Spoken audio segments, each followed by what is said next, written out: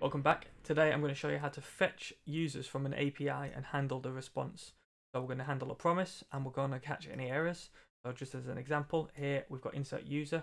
I'm going to get some data from another location, a different URL, get that data and I get a random generated user back to us and we handle the results from down here. So got results and I'm just going to be extrapolating the email and putting it into the contents of our website.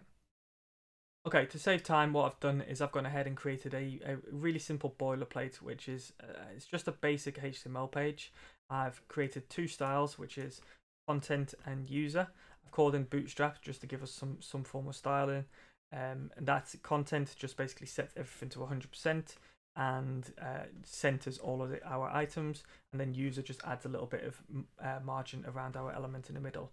In terms of the HTML, again, it's really basic. All we've got here is a, um, a, a the content class, uh, a user element, and then we're going to be doing something with this button. So we want to go and fetch some data when we click on this button.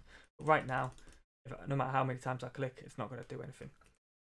What I want to do is I want to open up my script, and in here I'm going to say, uh, first of all, let's get these two elements so we can handle them later on.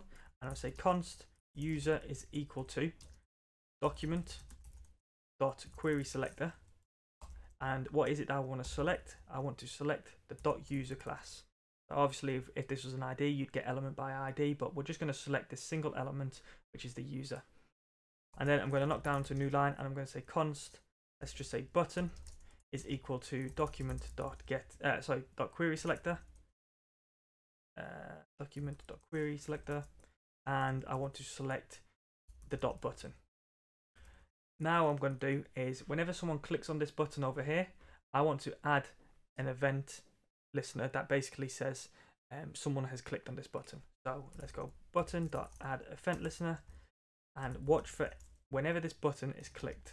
And then let's just console log um, someone's clicked. So console.log clicked.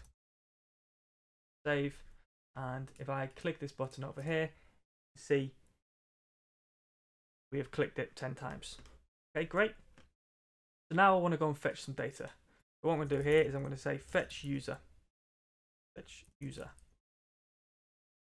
And I want to create this function and say fetch user. And let's just say console.log fetch user.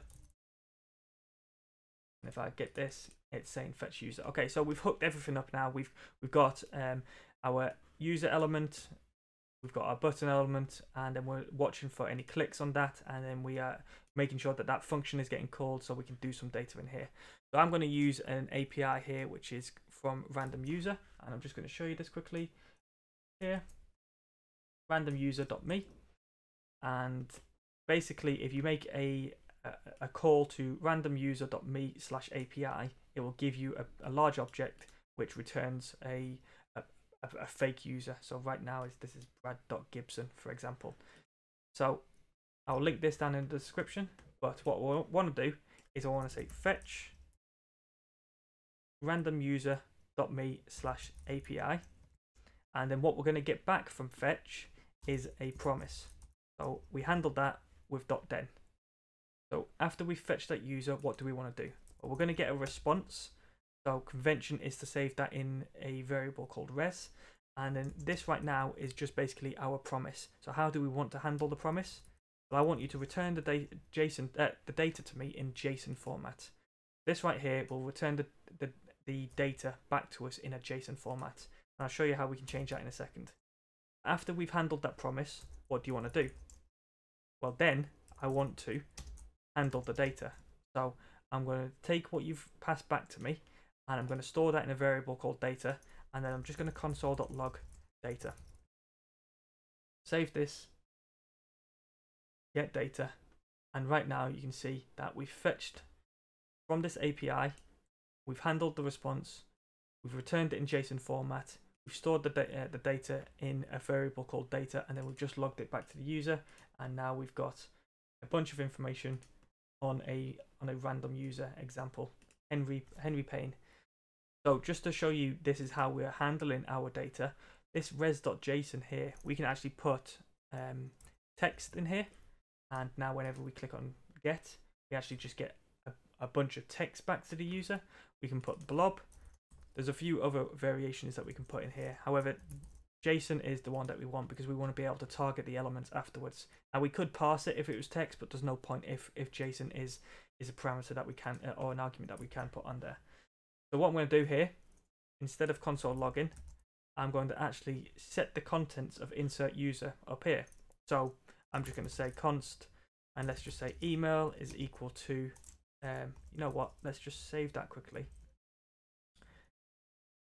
I'm going to console log the response again, load up uh, our results, so we get a results array, and then I'm just going to show you that down here we've got Timothy Francois, and you know what, let's actually save the email. So I'm going to take the email as opposed to the name. I'm going to take the email. I'm going to insert the email into the, the top up there. So we know that we've got data as our object. Then with results, we've got an array and then email. So let's say const email is equal to data dot results. So we're here. Deal with the array. So take the first item because we can have more than one item come back from this, and then work with the email. I'm going to say, okay, now that we've got that email property, what I'm going to say is um, user. So I'm referencing up here. Dot inner HTML is equal to email. Terminate that. Now what we're going to get when we click on the button, we pull out the email and we set up here the contents of that to email. get data and we have not handled that correctly. So what have I done wrong? So unread property our results. So I'll put result and it should be results. Get data and now we have handled our response and we're putting an example user up here. Now obviously we could concatenate and keep on adding into this, but the concept is here. You, you, we can now just extrapolate from this array uh, results uh, array.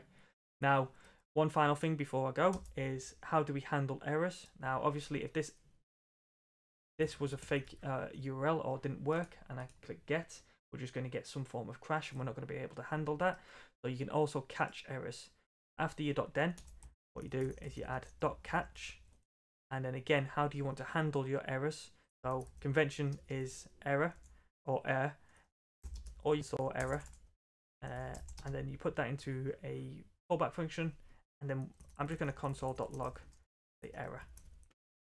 So if there's an error, just console log the error. I'm going to console log it, and now we get an unexpected token here.